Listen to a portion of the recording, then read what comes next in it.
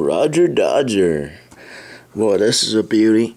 And 35th anniversary series. Hot Wheels. National Series number 3 out of 4. is this one, of course. hot HotWheelsCollectors.com. Yeah. Blue. And chrome. With these treasure hunt style red lines the flames the flames on this car looks look uh, uh, look different.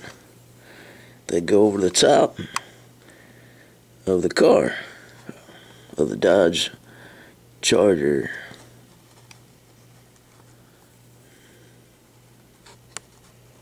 Anybody for the need for speed? Well one of these things will get you going